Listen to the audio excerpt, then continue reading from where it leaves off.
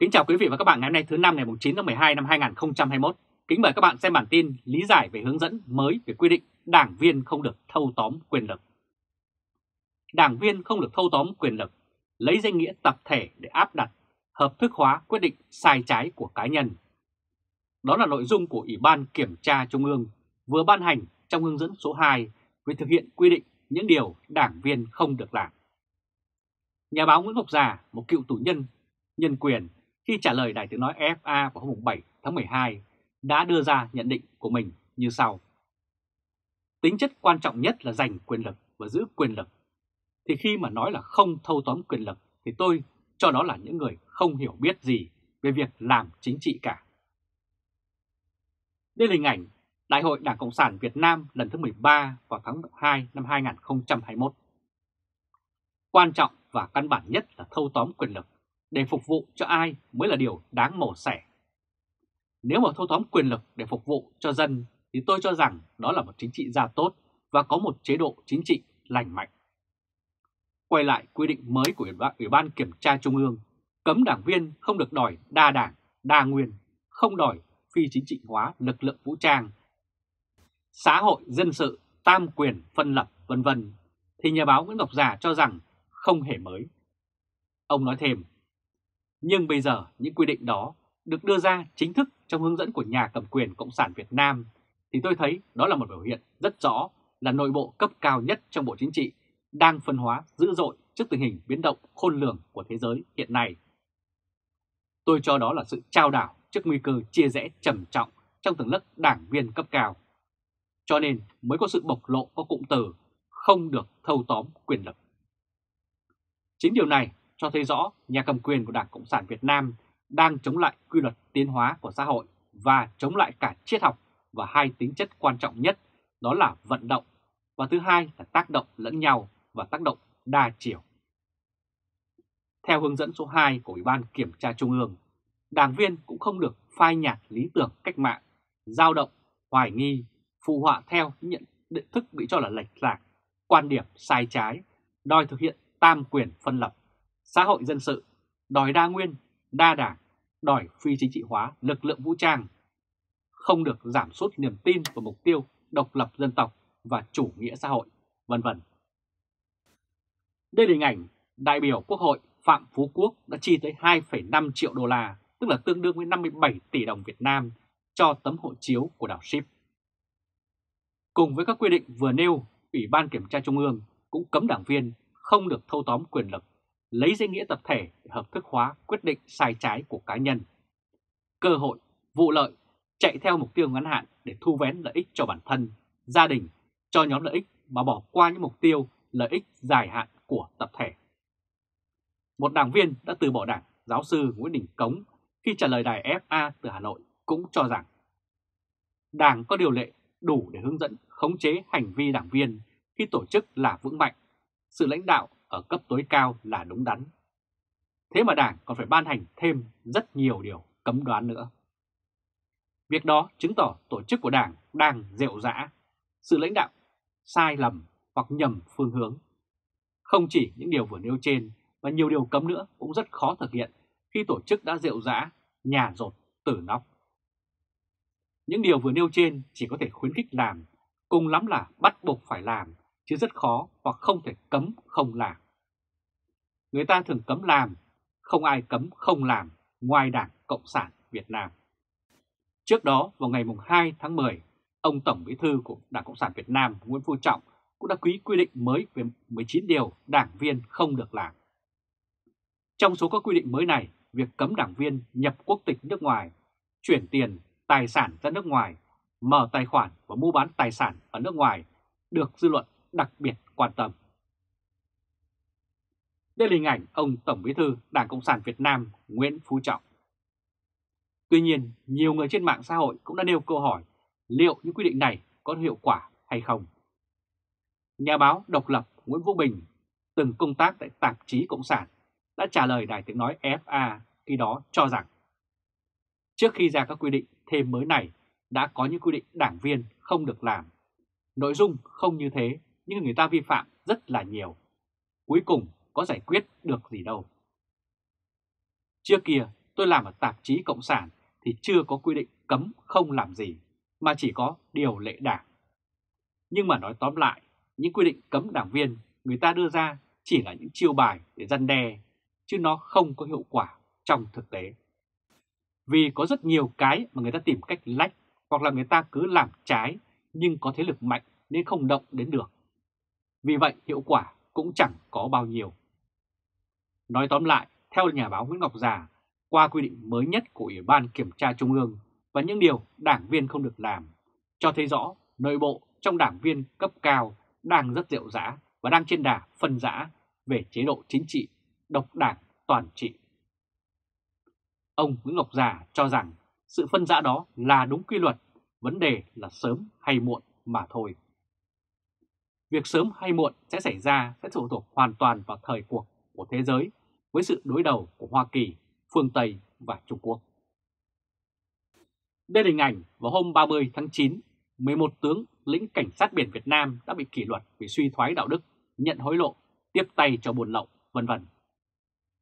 Tiến sĩ Nguyễn Huy Vũ khi trả lời đài FA từng nói rằng một trong quy định không có tính thực tiễn được mang ra rêu rào thì chỉ có thể hiểu rằng đó là một sự trình diễn. Nó trình diễn cho dân chúng thấy rằng Đảng Cộng sản đang hoạt động gắt gao, nghiêm ngặt và có đầy đủ các tiêu chí nhằm xây dựng lực lượng đảng viên của mình. Và rằng những đảng viên hư hỏng, thoái hóa, biến chất chỉ là những cá biệt. Còn Đảng Cộng sản luôn đề cao việc xây dựng một chính đảng trong sạch, lành mạnh vì dân tộc. Tiến sĩ Nguyễn Huy Vũ thì cho rằng mục đích duy nhất của việc tham gia của Đảng Cộng sản Việt Nam hiện nay là vì quyền lợi rằng đảng viên sẽ được một số ưu tiên mà người bình thường không có nếu không vào đảng. Chẳng hạn như các vị trí quan trọng trong các cơ quan của nhà nước đều có yêu cầu bắt buộc là dành cho đảng viên. Ông Vũ nói tiếp như sau. Đã qua rồi cái thời mà người ta tham gia vào đảng Cộng sản chỉ vì những lý tưởng thơ ngây của tuổi trẻ. Ngày nay người ta tham gia vào đảng Cộng sản vì lợi ích vật chất và địa vị. Đây là hình ảnh Bộ trưởng Bộ Công an Tô Lâm ăn một miếng thịt bò ở London có giá 45 triệu đồng, tương đương với 3.000 ổ bánh mì thịt hoặc 30 hộ gia đình được hỗ trợ trong cơn đại dịch Covid vừa qua. Đảng đã cố tình ban phát các lợi ích này để nuôi dưỡng lòng trung thành của đảng viên đối với đảng của mình. Đơn giản là vì nếu tham gia vào Đảng Cộng sản mà hoàn toàn không có một ưu đãi vật chất nào thì Đảng Cộng sản sẽ mau chóng tàn rã. Và khi đã gặt hái được những thành công nhất định, những đảng viên khôn ngoan tất biết cách phải gửi những tài sản này ở những nơi an toàn.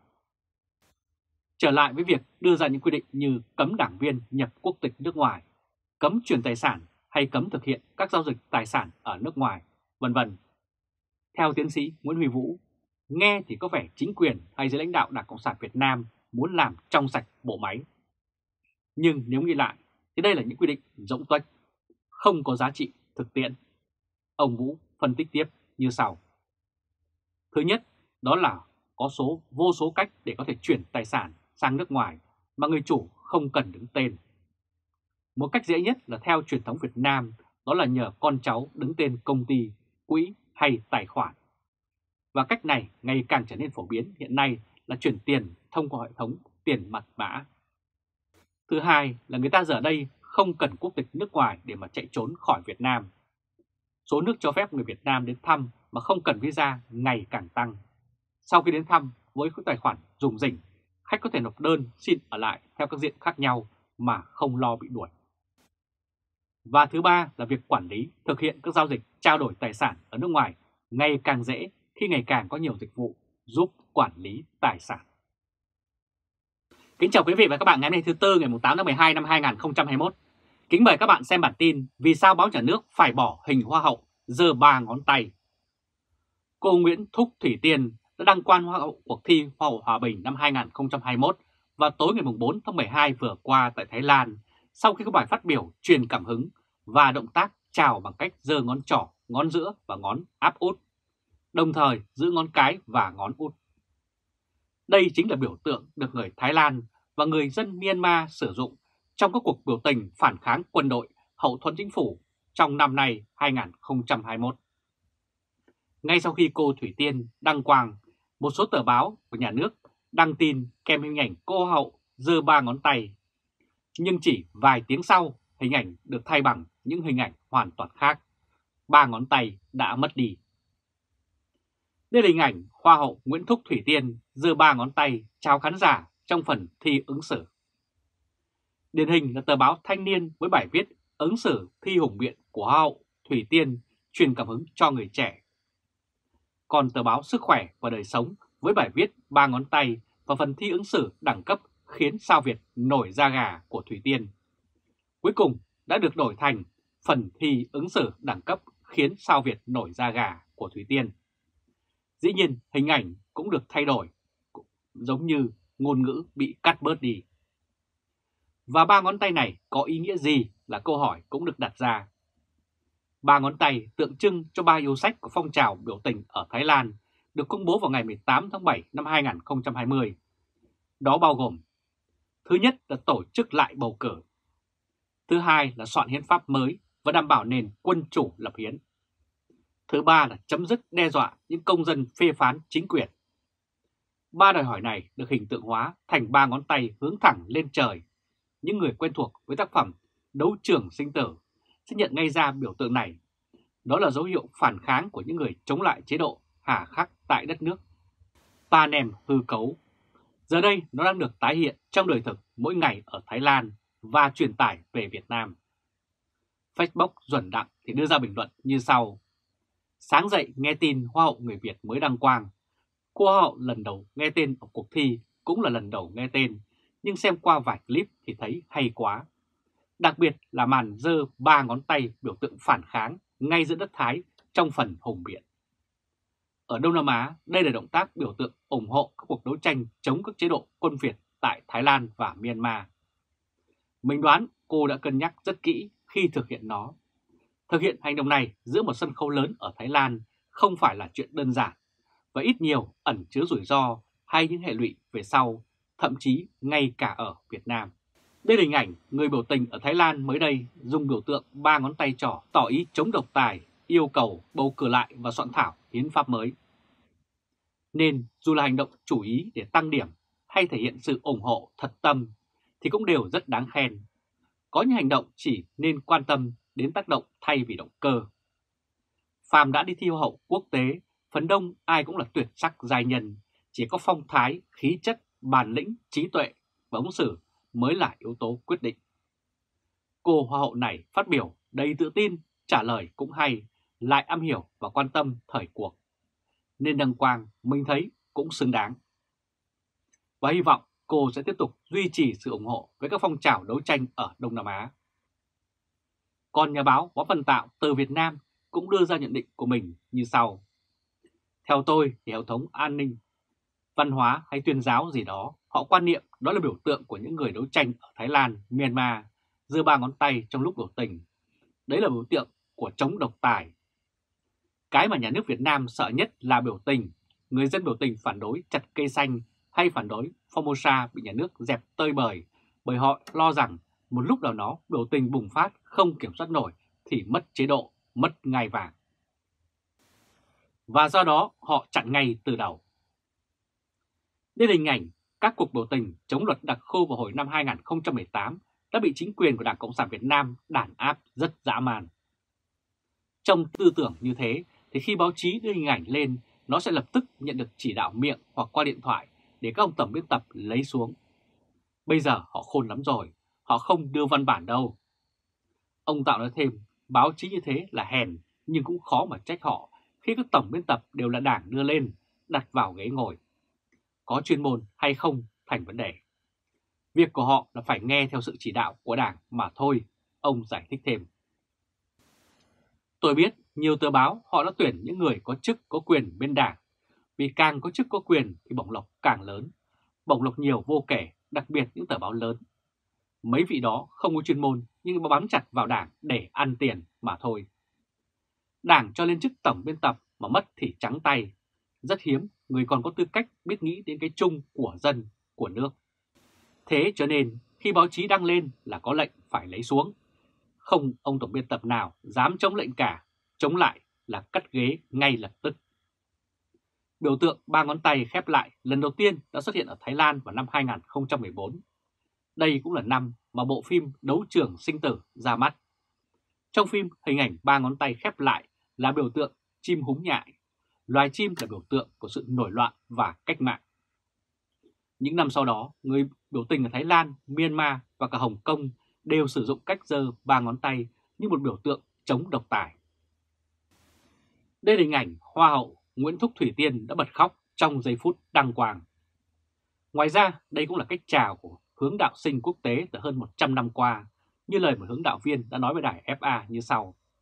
Hướng đạo họ chào đúng như vậy, ba ngón tay giữa dơ lên, ngón tay cái đè lên ngón tay út. Nghĩa là thể tuân theo ba lời hứa trong hướng đạo, đàn anh phải bảo vệ đàn em. Có thể thấy việc chào bằng ba ngón tay được sử dụng nhiều trong các cuộc biểu tình đòi tự do chống độc tài ở Myanmar vào năm 2016, Hồng Kông vào năm 2015 hay Thái Lan vào năm 2021 đã ít nhiều là hình ảnh nhạy cảm với chính quyền của các tập thể chế độc tài. Nhà báo Trần Ngọc Tuấn hiện ở Cộng hòa Séc nhận xét, sở dĩ báo chí trong nước phải thay hình hoặc đổi tựa bài viết liên quan đến cô Hoa hậu vì nó chạm vào tử huyệt của chế độ. Ông phân tích, hình ảnh cô Hoa hậu giơ ba ngón tay biểu tượng của tự do dân chủ và cả tự do bầu cử. Điều đó chạm vào yếu huyệt của chế độ độc tài. Đưa hình ảnh đó lên thì vô hình chung họ cổ hũ cho thể chế tự do dân chủ. Đó chính là điều cấm kỵ của họ. Đó là lý do chính tôi không ngạc nhiên khi báo chí không đưa hình hoặc lấy xuống như thế. Báo chí Việt Nam chính là công cụ của Đảng và chỉ có một ông tổng biên tập là ban tuyên giáo. Tiếp xúc với đồng nghiệp trong nước, tôi hiểu rất nhiều người muốn đưa những hình ảnh như thế, nhưng vì nằm trong vòng kim cô, chịu nhiều sức ép nên họ không thể đưa được. Đây là hình ảnh những tù nhân lương tâm bị nhà cầm quyền bắt giữ giai đoạn gần đây. Nói đến ban tuyên giáo thì tôi dị ứng lắm, vì đấy là những cái lưỡi gỗ chỉ độn không đi ngược lại với những bức văn minh của nhân loại. Họ không chấp nhận quý đạo ấy mà chỉ đi theo thể chế độc tài. Trong khi thế giới văn minh cổ suý cho quyền tự do ngôn luận thì ngay tại Việt Nam, nhiều người bị tù vì lên tiếng đòi hỏi cho quyền lợi chính đáng này.